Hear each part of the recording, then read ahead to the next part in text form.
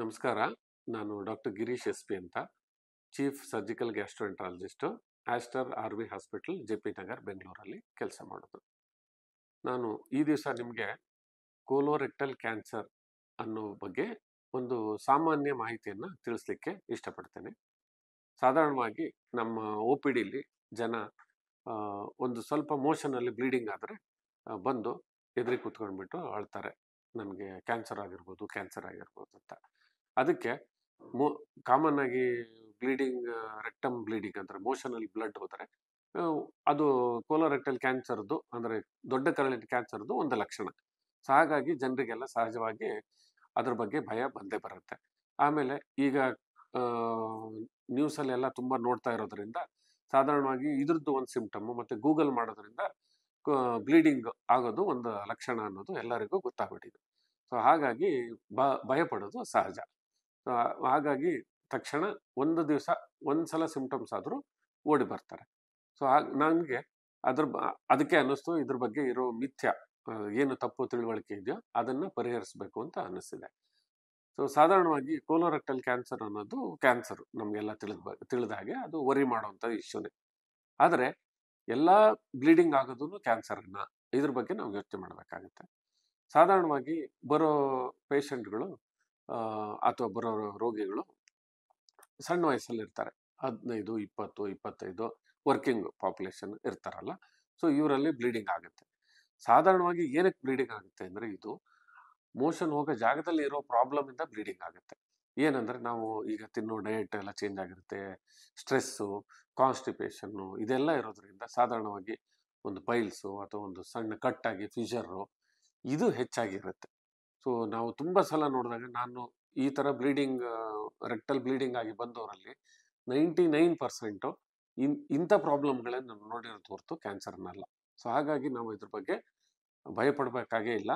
ಭಯಕ್ಕಿಂತ ಜಾಸ್ತಿ ಹೆದರಿ, ಎದ್ದು ಬಿದ್ದು ಓಡಿ ಬರುವಂಥ ಪ್ರಮೇಯನೇ ಇರೋದಿಲ್ಲ. ನಿಧಾನವಾಗಿ ಯೋಚನೆ ಮಾಡಿ, ಗೂಗಲ್ ಮಾಡೋದನ್ನು ಫಸ್ಟ್ ಬಿಡಬೇಕು. ಗೂಗಲ್ ನಮಗೆ ಏನಂದರೆ ಒಂದು ಇನ್ಫಾರ್ಮೇಷನ್ ಕೊಡ್ಬೋದು ಅಷ್ಟೇ ಹೋಗಿ ಡಾಕ್ಟರ್ನ ರೀಚ್ ಆಗಬೇಕು ಬೇಡ ಅಂತ. ಅದ್ರ ಬಿಟ್ಟು ಅದರಲ್ಲಿ ನೂರಾರು ಡಯಾಗ್ನೋಸಿಸ್ ಕೊಡ್ತಾರೆ. ನಾವೆಲ್ಲದನ್ನು ನಂಬಬೇಕಾಗಿಲ್ಲ. ಸೊ ಬ್ಲೀಡಿಂಗ್ ಆದಾಗ ಇದೊಂದು ಅಲಾರ್ಮಿಂಗ್ ಸಿಂಪ್ಟಮ್ಸ್ ಅಂತ ಹೇಳೇ ಹೇಳ್ತೀವಿ. ಸೊ ಹಾಗಾಗಿ ಏನೇ ಇದ್ರೂ ಹೋಗಿ ತಜ್ಞ ವೈದ್ಯರಲ್ಲಿ ಹೋಗ್ಬಿಟ್ಟು ಒಂದ್ಸಲ ತೋರಿಸ್ಕೊಂಡ್ಬಿಟ್ಟು ಅದ್ರ ಬಗ್ಗೆ ಪರಿಹಾರ ಮಾಡ್ಕೋಬೇಕಾಗಿರುತ್ತೆ ಹೊರತು ನಾವು ಯಾಕೆ ಅಂದ್ರೆ ಇದನ್ನ ಹೇಳ್ತಾ ಇರೋದು ನಾನು ಇಷ್ಟು ಒತ್ತಿ. ಬಂದು ಕೂತು ನಾವು ಇದಿಲ್ಲಪ್ಪ, ಇದು ಸಿಂಪಲ್ ಆಗಿರೋದು, ಫೀಚರು, ಪೈಲ್ಸ್ ಪ್ರಾಬ್ಲಮ್ ಅಂತ ಹೇಳಿದ್ರು ಅವ್ರು ಕನ್ವಿನ್ಸ್ ಆಗಲ್ಲ. ಸೊ ಬಟ್ ಅದನ್ನ ಕನ್ವಿನ್ಸ್ ಹೇಗೆ ಮಾಡಬೇಕು?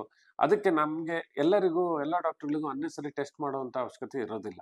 ನಮ್ಗೊಂದ್ಸಲ ನೋಡಿದಾಗ ಗೊತ್ತಾಗ್ಬಿಡುತ್ತೆ ಇದು ಇದು ಇದು ಅಂತೇಳಿ ಆಮೇಲೆ ಬ್ಯಾಕ್ಗ್ರೌಂಡು ಎಲ್ಲ ನಾವು ಡೀಟೇಲ್ ಕೇಳ್ತೀವಿ. ಫಾರ್ ಎಕ್ಸಾಂಪಲ್ ಫ್ಯಾಮಿಲಿ ಹಿಸ್ಟ್ರಿ ಏನಾದರೂ ಕ್ಯಾನ್ಸರ್ ಇದ್ರೆ ಕೋಲಾನ್ ಕ್ಯಾನ್ಸರ್ ಇದ್ದರೆ ಅವರಲ್ಲಿ ಇರುತ್ತೆ. ಅವರಲ್ಲಿ ನಾವು ಮಿಸ್ ಮಾಡೋಕ್ಕೆ ಹೋಗೋದಿಲ್ಲ.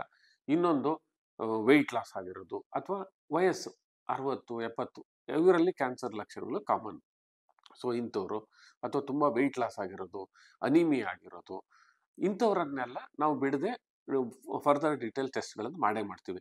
ಕೊಲನೋಸ್ಕೋಪಿ ಅಂತ ಮಾಡ್ತೀವಿ ಸಿ ಟಿ ಸ್ಕ್ಯಾನ್ ಅಂತ ಮಾಡ್ತೀವಿ, ಇದೆಲ್ಲ ಮಾಡೇ ಮಾಡ್ತೀವಿ.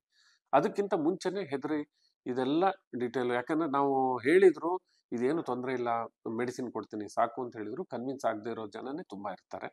ಹಾಗಾಗಿ ಇದ್ರ ಬಗ್ಗೆ ನಾವು ಈ ಇದನ್ನು ಮಾತನ್ನು ಕೇಳಿದ್ರೆ ನನ್ನ ಪ್ರಕಾರ ನೀವು ಕನ್ವಿನ್ಸ್ ಆಗ್ಬೋದು ಅಂತ ನನಗೆ ಅನ್ಸುತ್ತೆ.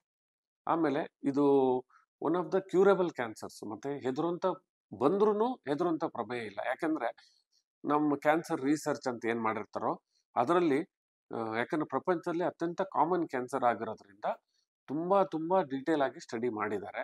ಸೊ ಹಾಗಾಗಿ ಇದ್ರ ಬಗ್ಗೆ ಇನ್ ಅಂಡ್ ಔಟ್ ಅಂತ ಎ ಟು ಝಡ್ವರೆಗೆ ಆಲ್ಮೋಸ್ಟ್ ತಿಳುವಳಿಕೆ ಬಂದಿದೆ. ಸೊ ಹಾಗಾಗಿ ಇದಕ್ಕೆ ತುಂಬಾ ವಿಶೇಷವಾದ ವಿಶೇಷವಾದ ಟ್ರೀಟ್ಮೆಂಟು, ವಿವರವಾದ ಟ್ರೀಟ್ಮೆಂಟ್ ಇದೆ. ಹಾಗಾಗಿ ಇದನ್ನು ನಾವು ಸಾಧಾರಣವಾಗಿ ಬಂದವರಿಗೆ ನೂರಲ್ಲಿ ಒಂದು ಹತ್ತಿಪ್ಪತ್ತು ಜನರಿಗೆ ಅಷ್ಟೇ ತೊಂದರೆ ಆಗ್ಬೋದು ಹೊರತು ಇನ್ನು ನೈಂಟಿ ಪರ್ಸೆಂಟ್ವರೆಗೆ ನಾವು ಕ್ಯೂರ್ ಕೊಡೋ ಚಾನ್ಸಸ್ಸು ಇದೆ. ಹಾಗಾಗಿ ಅದು ಬಂದ್ರೂ ಯಾರೂ ಹೆದರ್ಬೇಕಾಗಿಲ್ಲ. ಮತ್ತು ಇದಲ್ಲದೆ ಎಷ್ಟೋ ಜನರಿಗೆ ಬ್ಲೀಡಿಂಗ್ ಆಗೋದಕ್ಕೆ ಬೇರೆ ಬೇರೆ ಸಿಂಪಲ್ ಇನ್ಫೆಕ್ಷನ್ ಕಾರಣಗಳು ಇರ್ತವೆ. ಆಮ್ಶಂಕೆ ಅಂತ ಕೇಳಿರ್ಬೋದು ಕಾಲೆರಾ ಡಯೇರಿಯಾ ಅಂತ ಕೇಳಿರ್ಬೋದು. ಅಥವಾ ಇದಲ್ಲದೆ ಇನ್ನು ಕೆಲವೊಮ್ಮೆ ಸಣ್ಣದ ಅಂದರೆ ಕೆಲವು ಇನ್ಫೆಕ್ಷನ್ಗಳು ಅಲ್ಸರೇಟಿವ್ ಕೊಲೈಟಿಸು ಕ್ರಾನ್ಸು ಅಥವಾ ಟ್ಯೂಬರ್ಕ್ಯುಲೋಸಿಸ್ಸು ಇಂಥ ಕಾರಣಗಳು ಇರ್ಬೋದು. ವೈರಲ್ ಇನ್ಫೆಕ್ಷನ್ನಿಂದನೂ ಸಿ ಎಂ ಇ ವೈರಸ್ ಅಂತ ಹೇಳ್ತೀವಿ. ಇದರಿಂದನೂ ಎಲ್ಲ ಬ್ಲೀಡಿಂಗ್ ಆಗ್ಬೋದು. ಸೊ ಹಾಗಾಗಿ ಈಗ ಹತ್ತು ಕಾರಣಗಳನ್ನು ಕಂಡು ಇದ್ದರೆ ಅದರಲ್ಲಿ ಓನ್ಲಿ ಒಂದು ಕಾರಣ ಮಾತ್ರ ಕ್ಯಾನ್ಸರ್ ಇರುತ್ತೆ. ಮಿಕ್ತ ಒಂಬತ್ತು ಕಾರಣಗಳು ಬೇರೆ ಇನ್ಫೆಕ್ಷನ್ಗಳು ಸಾಧ, ಸಾಧಾರಣವಾಗಿ ಸಿಂಪಲ್ ಆಗಿ ಟ್ರೀಟ್ಮೆಂಟ್ ಮಾಡುವಂಥ ಕಾರಣಗಳೇ ಜಾಸ್ತಿ ಇರುತ್ತೆ. ಸೊ, ಹಾಗಾಗಿ ಈ ಮೇಲಿನ ಅಂಶಗಳನ್ನೆಲ್ಲ ತಿಳ್ಕೊಂಡು ಯಾರೂ ಭಯಪಡದೆ ತಜ್ಞ ವೈದ್ಯರನ್ನ ಸಂಪರ್ಕಿಸಿ ವಿವರವಾಗಿ ನಮ್ಮ ಹೆಲ್ತ್ ಬಗ್ಗೆ ವಿವರವಾಗಿ ಅರಿವು ಮೂಡಿಸ್ಕೋಬೇಕು ಅಂತ ಕೇಳ್ಕೊತೀನಿ